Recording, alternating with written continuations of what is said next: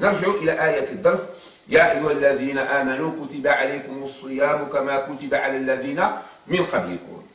كثيرا ما تصدر الآيات وخاصة آيات الأحكام بهذا النداء. يا أيها الذين آمنوا لدلالات بيانية ولفوائد ألخصها وأجملها.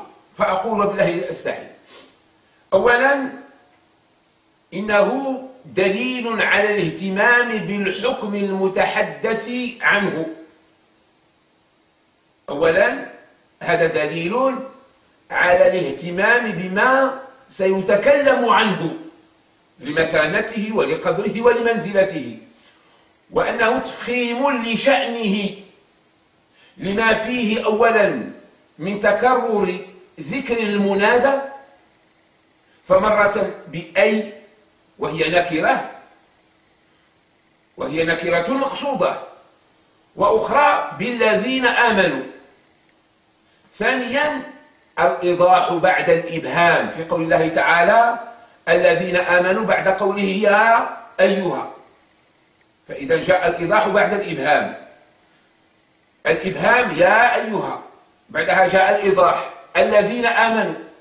إذا الله تعالى يخاطب المؤمنين.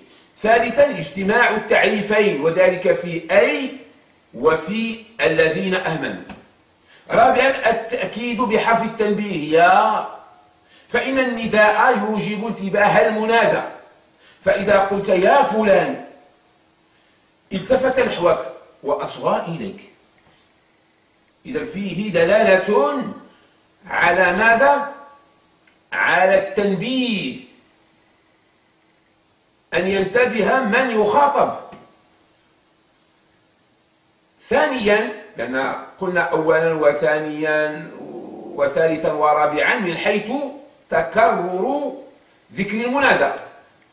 ثانيا من دلالات النداء. يا أيها الذين آمنوا أن النداء بوصف الإيمان دليل على أن تنفيذ هذا الحكم وهو الصيام. يا أيها الذين آمنوا كتب عليكم الصيام كما كتب على الذين من قبلكم. فإذا جاء النداء بالإيمان ومن مقتضيات الإيمان أن يستجيب المؤمن. فهذا فيه حث وإلهاب لعزائم المؤمنين وترغيب كذلك لهم. فيه ترغيب للمؤمنين كي يستجيبوا للنداء.